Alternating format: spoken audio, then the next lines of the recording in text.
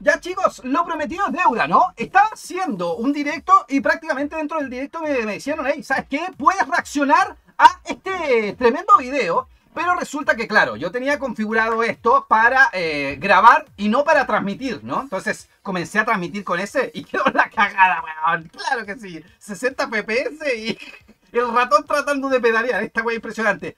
Vamos con todo, chicos, porque ahora vamos a reaccionar al video de Mu Machine. Claro que sí, así que pueden buscar ahí Machine, le dejan su mega genial fabuloso like, vamos con todos los créditos son de él. Esto es Top 7 muertes y accidentes fatales de jugadores en Pokémon Go. Ultra mega genial fabuloso like. Bajamos la música. A full. Hermane que berreque. Listo, listo tío. Ok. Machine. ¿Listo? Oye, eh, Mumachín se puso en modo Dross, weón. ¿Ah? Claro que sí, en cualquier momento sale un scream a la mierda.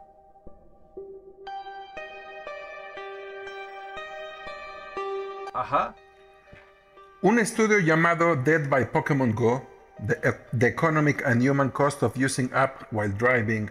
A ver, eh, muerte por Pokémon Go, eh, el costo económico y humano usando aplicaciones mientras conduces, ¿no? O por su traducción al español, Muerte por Pokémon Go, el costo económico y humano de usar app mientras se conduce, indicaba que los jugadores distraídos por el juego provocaron nada menos que 145 mil accidentes de auto.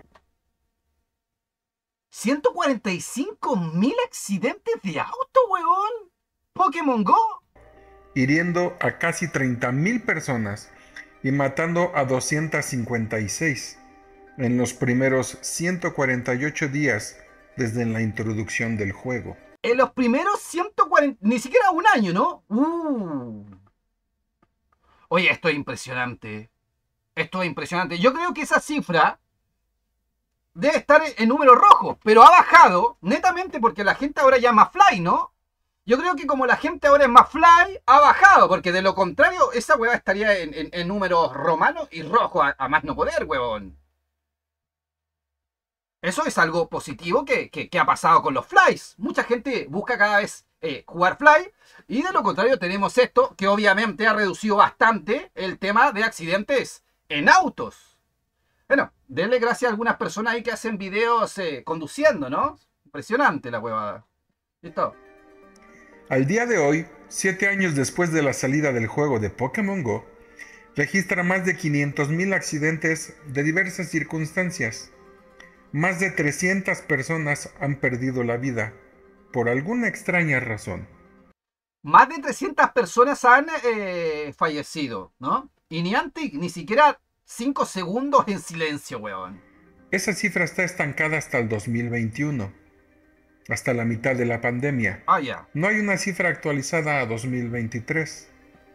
Por parte de su servidor, el siguiente no ha sido un top fácil de elaborar. Ajá. Porque mientras más buscas acerca de este tema, más infinito se vuelve. Oye, sí, de verdad. Eh, yo recuerdo que una vez hice un, un, video así, algo, algo parecido con accidente, y la verdad es que está repleto, pero repleta la web de accidentes por Pokémon Go. Esto es impresionante. Este es el top 7 de accidentes fatales y muertes de jugadores mejor documentados de Pokémon Go. Uf. Número 7. El primer accidente de tráfico reseñado es el de un joven de 19 años que conducía una camioneta junto a otras tres personas en la parte trasera, en el estado de Arizona, en Estados Unidos. Arizona que me llega hasta la zona. Oye, pero esas colinas son como bien terroríficas. Ustedes vieron el despertar del diablo, las colinas tienen ojo, toda la masacre de Texas, weón, buenísimas películas. E, era como un ambiente así, como hostil. Bueno, de momento vemos chicos de 19 años en camioneta, ¿no? El doctor David Armstrong, quien fue el doctor que atendió a los heridos de ese accidente, narró que mientras el joven conducía, estaba cazando Pokémon con su celular y trató de alcanzar uno que estaba de forma virtual en la carretera. Sin embargo, perdió el control del vehículo, que dio dos vueltas sobre sí mismo. Uno de los pasajeros fue lanzado fuera del carro Uh, salió eyectado uno, weón. Fue hallado con una de las ruedas aplastándole el pecho. No, la concha es su madre. ¿Y saben qué? Perdón que lo diga, pero es impresionante. Es impresionante. A ver. Yo aquí, y lo digo con todo respeto, yo tengo fanáticos. Tengo personas fanáticas de mis videos, les agradezco en el corazón. Pero a mí no me cae, de verdad, no me cae en la cabeza cómo hay youtubers que tratan de eh, mostrar que jugar, incluso ellos juegan en auto y, weón, pueden estar así, mira, te voy a, dar un ejemplo. Pueden estar así con el celular y, con el. y conduciendo. Y para ellos, eso no es malo. Entonces, a ver, ¿qué, ¿qué, es lo malo de eso? Porque quizás alguno diga, no, ¿quién está jodiendo? No, huevón. Tú tienes gente que te apoya gente que incluso fanáticos que quieren, quieren hacer las cosas igual que tú, quieren... Eh, eh, estoy muy agradecido, incluso youtubers que, que, ya suben mucho contenido de Pokémon Go, me han dejado en comentarios, hey, ¿quieres, sabes qué? Eh, gracias a ti me metí en YouTube, etcétera, no hay nada que decir. Pero hay fanáticos que lo que hacen es replicar lo que tú haces, hacer exactamente lo que tú haces. Y si tú estás jugando Pokémon Go, en un auto, así, y después dices, no, mira cuántos caramelos yo tengo. Estás enseñándole eso a las personas. Eso es lo que le estás enseñando tú a tu gente. Entonces, lo que termina pasando es que eh, incluso pueden tener un tremendo accidente. Y lo peor es que cuando tengan accidente, tú no vas a estar ahí para ayudarlo, ¿no? Entonces, wow, what the fuck, ¿qué le estamos enseñando? Yo creo que incluso esos videos deberían estar prohibidos, weón. O sea, si yo salgo en un video tomando o ingiriendo algo, cloro, lo que sea, lo más lógico es que YouTube te lo baje, porque obviamente es algo dañino, ¿no? Y, eh, puede provocar un accidente. De la misma forma, esto no debería eh, ser permitido. Es impresionante esto. Cómo la gente trata de ver lo, lo malo y trata de proyectarlo como que es algo positivo. Esto es impresionante. El conductor recibió un golpe en el estómago que le afectó gran parte del hígado. Ese fue el primer reporte. El segundo caso fue el de una mujer en la misma zona. Ella conducía su vehículo cuando tuvo que hacer un giro para evitar atropellar a un joven que se había detenido en la mitad de la calle. El carro se estrelló contra un poste telefónico. Aquí hubo algo más o menos así también, aquí en Chile, hace, hace unos años atrás. Eh, también también un caso muy similar. Eh, incluso los, los entrenadores Pokémon Go empezaron a putear al, dueño del auto, ¿no? El, dueño del auto ahí, tengo que pasar por ahí, ay, espérate que estamos haciendo una raid, la concha es... Eh, esto es impresionante. La mujer llegó con fuertes dolores en el pecho y cuando se le hizo un examen completo notamos varias fracturas en la pelvis, explicó el informe médico. Los testigos del hecho y los paramédicos que atendieron la emergencia señalaron que la causa del accidente había sido la necesidad de esquivar a un despistado jugador que estaba intentando cazar un Pokémon con su celular y atravesó la calle sin precaución. Pero qué pendejo de mierda, de verdad, qué pendejo de mierda, weón. Ambos accidentes ocurrieron el mismo día, un 6 de julio del 2016 el mismo día del lanzamiento oficial de Pokémon Go en Estados Unidos. Ajá.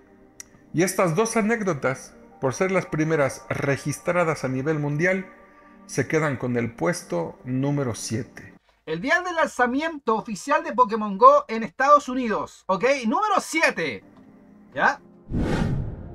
Número 6. A partir de aquí, los accidentes menores quedaron atrás los daños materiales se vuelven completamente irrelevantes. Aquí es donde empieza el verdadero problema. El accidente se produce en Japón la noche del martes 26 de agosto del 2016. Oye, los Takataka aman Pokémon Go. En la zona rural de Tokushima, en la isla de Shikoku, al sur del país.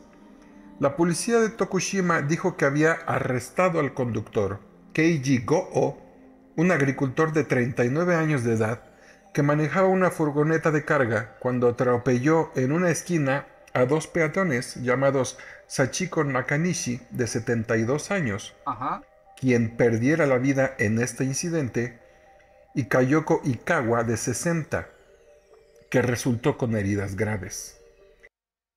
O sea, lo hizo mierda, yo creo. La razón de este accidente, en las propias palabras de Keiji Go, iba jugando a Pokémon Go, intentando atrapar un Pokémon cuando sucedió el accidente.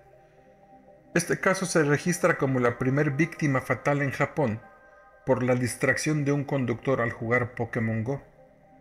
¿Saben, ¿Saben lo chistoso? Es que hay un video de Keibron en el que lo, lo atropellan, ¿no? Le dan, bueno, más que atropellarlo fue, eh, la palabra está bien aplicada, ¿no? Lo, lo, atropellan por, por, una captura de un dito o algo así. Y lo peor es que cuando lo trata de mostrar él, él lo muestra como, como algo chistoso, como algo para elevar visitas, como, wow, mira lo que me pasó.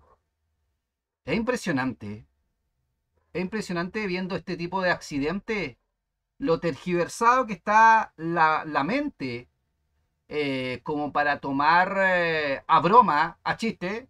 No, no, es lo mismo que haga otra persona, ¿no? Porque yo podría hacer un video reaccionando a ese video y yo me puedo cagar de la risa. Porque a mí no me pasó nada. Porque prácticamente yo puedo decir, hey, qué, bobo, no sé, lo que sea. Pero que la misma persona lo esté tirando como, bueno, mira, casi me atropellan a mí por, porque estaba jugando Pokémon Go y capturando un dito. O sea, eso, eso no está bien, ¿no? Eso, eso no está bien. ¿Y a qué me refiero que yo? Que no solamente los, los dueños de los autos tienen la culpa. Porque anteriormente vimos un peatón que el pendejo estaba así como si nada, como si solamente existiera el celular y nada más. Y claro, también provoca un accidente. Entonces también tienes que tú, como, como usuario, qué sé yo, estar pendiente del resto, sobre todo si estás en la calle. Es diferente ya que estés en la casa y te, y te pasa un accidente, pero no debería ser eh, fatal, no de la misma forma, ¿no? Y se queda con el puesto número 6. Ajá. Número 5. Su nombre era Edgar Paredes Tello, Ajá. originario de la ciudad de Atlixco, en el estado de Puebla, en México. Edgar salió un 21 de mayo del 2022 a jugar un Community Day en su localidad. Parece que este, este lo, lo ubico, ¿no? Parece que esto lo ubico. Incluso en CFO me parece que, que habían puesto como una reseña. Y según los testigos y los reportes locales, al jugador de Pokémon Go le intentaron arrebatar su celular, pero como lo llevaba con una cadena, no pudieron quitárselo. Y en revancha, los asaltantes le dieron dos puñaladas en el torso. Edgar, Edgar, fue trasladado al Hospital de Traumatología y Ortopedia del Seguro Social, pero su cuerpo no soportó las heridas y perdió la vida dos horas después. Qué lamentable, weón. Lo que debió ser un día alegre y de qué, qué lamentable, de verdad qué lamentable. compañerismo se convirtió en una tragedia. Justicia para Edgar mientras, cruz, eh, mientras cazaba Pokémones en Puebla lo asaltan y acuchillan para robarle el celular. Bueno, lo que son asaltos, eh, esto tiene una infinidad de casos en Pokémon Go. Una infinidad. De, de, hecho, incluso aplicaciones como... ¿Cómo se llama esta? La... la ah, se me olvidó. Fire... Ah, se me olvidó, ¿no? Pueden dejarlo en comentarios ustedes. También eh, estaba, estaba muy visitada por personas que eh, eran asaltantes, que se ponían incluso de acuerdo para saber dónde iba a haber mucha gente y ahí le, le afanaban el celular, huevón. Esta noticia se dio a conocer rápidamente en todas las redes. Toda la comunidad en México estaba de luto y en espera de cómo se pronunciaría Niantic al respecto. Y Niantic dice las pelotas Harry, ¿no?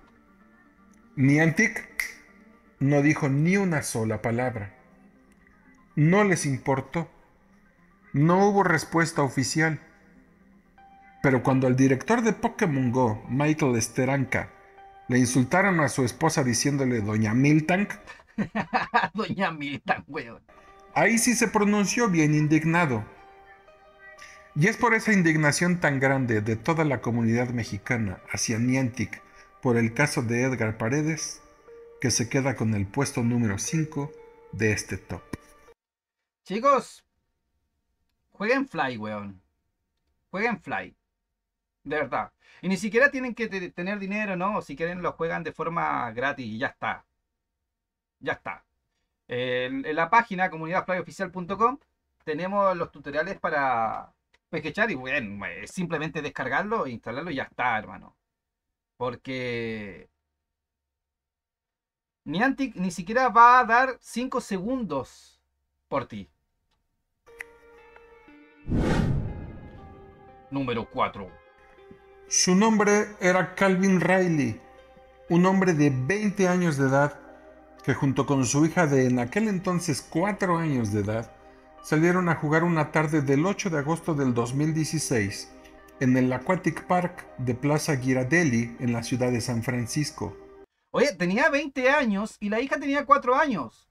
16, 17, 18, 19. A los, 20, a los 16 años tuvo un hijo, weón. Wow. Riley y un amigo jugaban Pokémon Go cuando alguien le disparó por la espalda, ejecutándolo a quemarropa con un tiro en la cabeza. Y salió corriendo, dijo John Kirby, el oficial responsable del caso. Padre del asesino de del, del jugador de Pokémon Go. A ver, ya, padre de el. Ok, de Pokémon Go, Calvin Riley, eh, emocional. justicia, Y cinco años después. Ya, prácticamente eh, puso a. Fue una, fue una a pelea la judicial. televisora KGO. Por lo que sabemos, no hubo enfrentamiento, dijo Kirby. No hubo palabras de uno y otro. Fue algo insensato. Alguien que le disparó por la espalda y salió corriendo. No encuentro palabras para describir este caso. Oye, impresionante.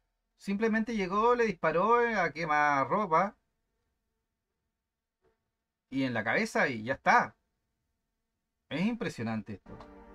El caso de Calvin Riley se queda con el puesto número 4. Número 4, ¿ya? Número 3. Vamos a ver. Su nombre era Keita Noritake. Tenía nueve años de edad. Salió de su casa una mañana el 26 de octubre del 2016. Iba camino a la escuela y se encontraba a escasos 200 metros de su casa. Ujú. Cuando Nobusuke Kawai, de 36 años, conducía un camión y se lo llevó por delante en un paso de peatones Uy, huevón, con un camión se llevó al niño. No, lo hizo mierda, huevón. causándole la muerte. No, eso fue instantáneo. La causa, según su propia declaración a la policía, estaba distraído jugando a Pokémon Go desde su smartphone mientras conducía. El conductor del vehículo se encuentra a la espera de ser procesado por cometer esta negligencia al volante Padre de niño que murió en accidente pide prohibir Pokémon Go a conductores. Yo vuelvo a repetir, yo vuelvo a repetir, y esto ya no es en contra de ningún youtuber legal ni nada, pero vuelvo a repetir. No pueden haber youtubers que sabiendo que gozan de cierta fama, traten de dar a entender que jugar Pokémon Go arriba de un auto es genial. Incluso, miren los caramelos que tengo, o mira, me salió este Pokémon. Porque hay gente que sigue, porque la gente que te sigue va a querer imitarte. Yo, yo de verdad, yo creo que ahí, ahí hay un problema tremendo. Ahí hay un problema tremendo. Hay un, hay un problema tremendo. Y ojo, aquellas personas que... eh, incluso yo recuerdo cuando Suagron, eh, que no tengo nada en contra de Suagron, no lo odio ni nada, de mi mismo país, le deseo lo mejor, que, que- vaya en, en- pro de, de- de su carrera eh, Pogotuber, no tengo nada que decir. Eh, pero yo recuerdo cuando él, estando en auto, hablaba de los nidos. De los nidos, hey, aquí hay un, hay un nido, etcétera, etcétera. Incluso podía estar capturando arriba del auto los nidos. Y si bien ya no lo hace, que me parece genial, me parece genial, fue algo pero terrible. O sea, esto, esto es terrible. Es terrible. Sobre todo cuando tienes personas que te siguen a ti y eh, tratan de imitar lo que tú haces. No está bien. Y lo peor es que no se puede justificar. Eso no se puede justificar. Eso está mal y está mal. ¿No? Wow. que desembocó en la tragedia. Ajá. No había marcas de freno en el lugar del accidente, dijo la policía. Se lo, se lo llevó. Noritake es el primer menor fallecido en un accidente vial vinculado a Pokémon Go. Tres años de prisión. La sentencia del conductor Nobusuke Kawai, condenado a 14 meses de cárcel por un accidente previsible. El parche aplicado en el juego de Pokémon Go. Ah, ya. Ya, ok. No, no juegues Pokémon Go mientras conduces, ¿ok?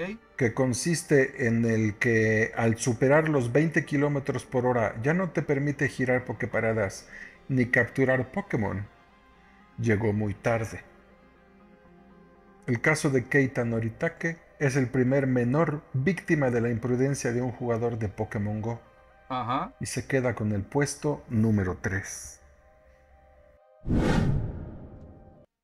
Eso, eso, eso es raro, hermano. Eso es raro. De verdad. Número 2. Su nombre era Kayla Campos, de 21 años de edad. Oye, qué bonita, ¿eh? Kayla Campos, ¿ok? 21 años. Y un día se dio a la tarea de salir con su novio a jugar Pokémon Go Ajá. un viernes 21 de octubre del 2019 por la noche a un parque el cual solían frecuentar en la ciudad de Albuquerque en el estado de Nuevo México, en Estados Unidos. Ajá. Parecería un viernes cualquiera. Sin embargo, Kyla y su novio fueron testigos de un asalto a mano armada a un conductor de otro vehículo mientras manejaban rumbo al parque. Ah, ellos fueron testigos, ¿ya? Mujer baleada y muerta después de presenciar un robo mientras jugaba Pokémon Go. Dice, ¡oh, qué, qué lamentable, weón! Ella ni siquiera tenía que ver ahí, pero lo presenció. Simplemente estuvo en el lugar erróneo. Uf. De acuerdo con el reporte oficial, los ladrones se dieron cuenta de que fueron vistos y reconocidos por la pareja y dispararon en contra del carro de Kyla, quien a pesar de tratar de escapar, recibió un impacto de bala en el cuello que le provocó la muerte casi instantánea. Al día de hoy, la policía local en Albuquerque no ha dado con el asaltante que le quitó la vida a Kyla, que solo tenía planea- planeado salir a jugar Pokémon Go con su novio, como solían hacerlo, Qué lamentable estos casos, de verdad. Qué lamentable. pues su casa se encontraba a escasos 500 metros del parque. El caso de Kyla Campos, una joven asesinada dentro de la seguridad de su vehículo al tener que salir a jugar Pokémon Go a la calle, se queda en el puesto número 2. O sea, estuvo en el lugar y momento equivocado. Número uno. Su nombre era Servando Hamros, Oye, este es el número uno. Este es el número uno, ¿no? Debería ser el más. El más complicado de todo. Incluso me pareció el del niño, que fue arrollado, me pareció mucho más fuerte que el anterior de la, de la chica. de 29 años de edad. Fue encontrado muerto el miércoles 13 de julio del 2022 en un parque en el bosque 2100 de McCormick Boulevard en Evanston, en la ciudad de Chicago, Illinois, en Estados, Estados Unidos. Unidos. La autopsia reveló cuatro tiros de arma de fuego de alto calibre a quemarropa. Hamros estaba en el parque jugando a Pokémon Go con su hija de 6 años, espera, espera, espera, que, no está leyendo. Detienen a hombre acusado de matar a tiros, a tiros, con S, o sea, varios, a Servando eh, Amros en parque de... ya, Camros estaba en el parque jugando a Pokémon Go con su hija de 6 años, cuando al parecer entró en una discusión con un número desconocido de personas, según comenta la policía. Oh, El asesino, al parecer, primero apuntó contra la hija de 6 años, quien no resultó herida en el incidente. Fue ahí donde comenzó el tiroteo. Servando Camargo, quien se identificó como el papá de la víctima, escribió lo que presuntamente pasó el día que su hijo fue asesinado.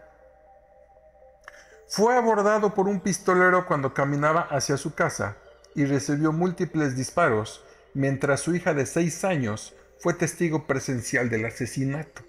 ¡Ay, qué terrible, weón! Esto sí que es terrible. El pistolero incluso empezó a abrir fuego contra su hija mientras ella corría por su vida. Ella encontró un lugar para esconderse y no resultó herida, afortunadamente. Pero vio cómo el pistolero se puso encima de su padre y lo ejecutó, aseguró el señor Servando Comargo, padre de la víctima. Una persona fue arrestada en el tiroteo. La policía de Evanston dijo que este hombre estaría en el tribunal el próximo miércoles por la tarde, pero no proporcionó más información sobre la detención. La familia de Servando Hamros juntó fondos para el funeral a través de la página GoFundMe, mientras que el estado de Illinois es quien proporcionó la ayuda y la terapia psicológica para la niña de 6 años.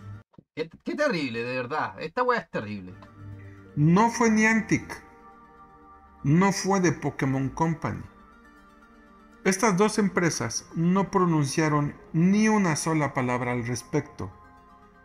Otro caso totalmente indignante, no solo para la comunidad de Estados Unidos, sino para toda la comunidad de jugadores de Pokémon Go. Y es impresionante que la gente defienda tanto un juego que no te defiende una mierda. Es impresionante. Tú vas a Twitter y ves gente que incluso es capaz de pelearse por el juego. Es capaz de pelear por el juego, weón. Y si a ellos les pasara algo, Niantic ni siquiera le daría tres segundos el pésame, weón. Nada. El caso de Servando Hamros, que pudo haber sido un homicidio doble junto con el de su hija de seis años. ¿sí? Del cual no existen palabras de cómo describirlo. Se queda con el puesto número uno. Esto es terrible. Es terrible. Ahí finaliza, ¿no? ¿O tenemos bonus track? ¿Tenemos bonus track? Niantic, ah, en siete años de vida de Pokémon Go, nunca, nunca ha donado un solo centavo a las víctimas o familiares de las víctimas de, accidente o muerte por motivos de Pokémon Go. Claro, Claro, yo creo que ellos se, se hacen lo desentendido. Es como, eh, ¿sabes qué? Nosotros ponemos un aviso que la gente no, no juegue Pokémon Go mientras conduce, pero eh, lo hacen igual. Son porfiados. No sé, qué mierda, weón. Ha realizado grandes donaciones a asociaciones particulares que se hacen deducibles de impuestos. Nada más. Niantic y The Pokémon Company solo han demostrado que las ganancias económicas son su principal prioridad.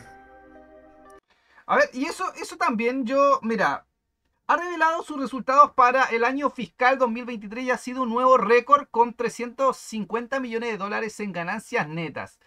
Eh, literalmente Pokémon está haciendo más dinero que nunca en su historia. Esto yo no lo creo. Incluso yo creo muchas veces que las páginas son compradas, no sé. Porque es un poco ilógico pensar que en el año 2016, cuando estaba el boom de Pokémon Go, eh, se hizo menos dinero que ahora. Ahora que, que lo juegan muy poco. Incluso los hacks están tomándose el juego. Pero bueno, esto es impresionante, chicos. No, bueno, está de más decir que tengan cuidado. Eh, no conduzcan jugando Pokémon Go. No conduzcan. Eso no es de cracks para nada, eso no es de crack. No conduzcan jugando Pokémon Go. Y en la calle cuando estén con el celular tengan mucho cuidado. Si van a estar en un lugar, eh, con, mucho, con mucho cuidado, ¿no? Un abrazo tremendo a todos y bueno, espero que les haya gustado el video. Los créditos son de Mumachin, ¿no? Top 7 muertes y accidentes fatales de jugadores de Pokémon Go. Me gustó muchísimo, me gustó muchísimo. Este, este tipo de videos me gusta mucho porque uno, que nos saca de la rutina. Y dos, es que te deja pensando un poco, ¿no? Te deja pensando un poco. ¿Qué tan masivamente malo fue Pokémon Go? ¿O está bien? Está bien. Bueno chicos, ultra mega genial fabuloso like, un abrazo tremendo. Ahí abajo les voy a dejar los links y también les voy a dejar el link al canal de Mumachin. Un abrazo y nos vemos. Adiós gente linda. Bye to bye.